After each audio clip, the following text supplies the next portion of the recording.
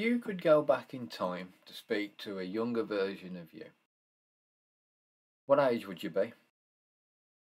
And why? What would you say to them? Let me know in the comments below. I know exactly what I'd say to the younger version of me.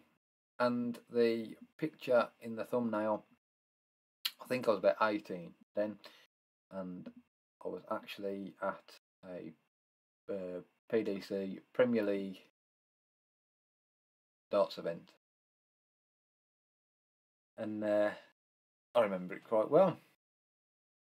I also remember, sort of remember being 18 and wanting to start my own business, being a driver and all of that. And that's the one thing I'd go back and tell myself don't do it. I decided to myself, just get a normal job. Or get a job as an employed driver at a company who are decent, at a company who look after their employees. Certainly wasn't where I went. I'd also tell myself lots of other things, but that would be the main one. Because that job, that business, was the one that nearly killed me. It was the one that burnt me out. It was business I lost. It was shit. Basically, I wasted my 20s driving around the country, earning not a lot of money, um, especially for the hours I was doing. Because it's not just the driving, it's the waiting to get loaded, the being pissed about on the loading bays, the being pissed about when you get there and jobs are cancelled and all of that business. Well, it's all time and it all adds up. And I used to be out.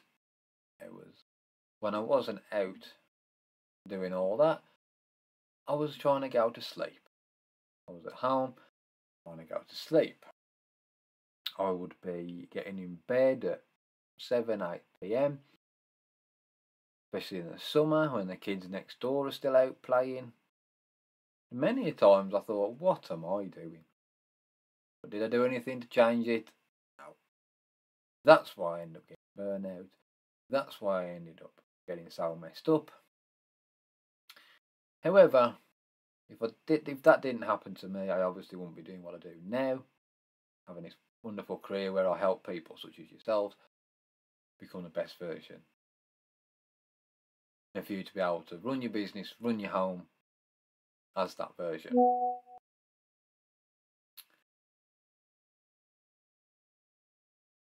But I definitely, if I could go back, could tell that younger version of me, an 18 year old version of me, not worth it. I know it's your dream, but it's not worth it. I also know that that stubborn arsehole 18 year old me would have told me to bollocks. I'm gonna done it anyway. Because that is a big problem for a lot of people. Stubbornness.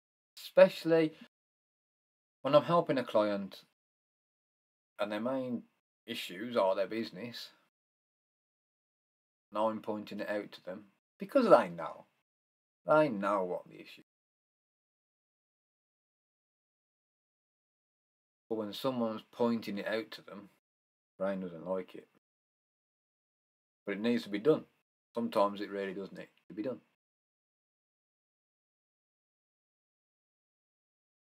Once that's happened and the brain has done its knee jerk fight flight mode and all that crap that comes with it, we can then think of the solution. So maybe yes. Knowing what I know, I would go back to the 18 year old me and say, look, don't do it that way, because this is what's going to happen, and it's shit. You'll cock it all up, you'll make shitty mistake after shitty mistake, bad choice after bad choice. Here's how we're going to do it now. And I'd come up with a different plan.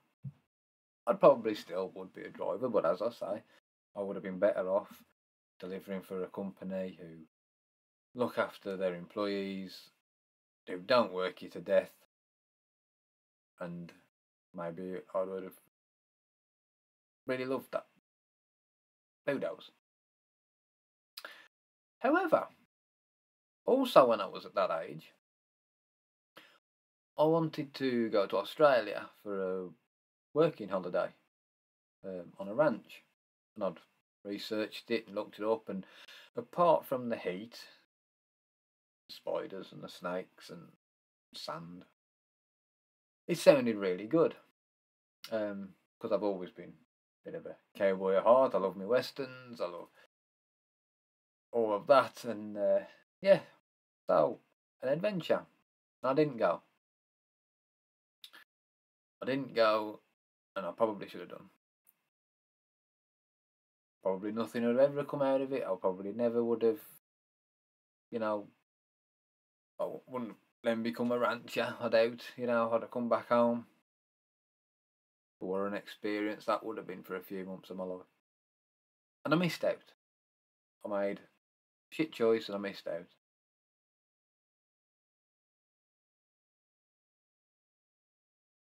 When I was a bit older then, I had an opportunity to move to Spain to work in a bar there. Again, I didn't do it.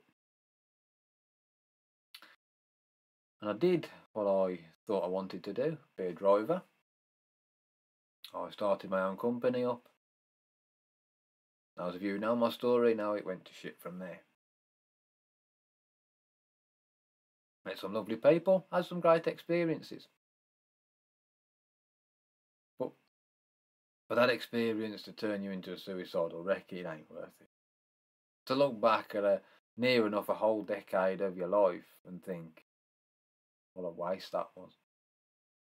The friends are lost, relationships are lost. The all because I was chasing money and making all the mistakes that a lot of small business owners make. So, what would you say to yourself? What would you change if you could go back? As I say, let me know in the comments. Love it for you to watch another video. Now I'm Chris Harrison, Mindset Self Care Focus Therapy. Thank you for watching. Have a great day. Take care. Bye bye now.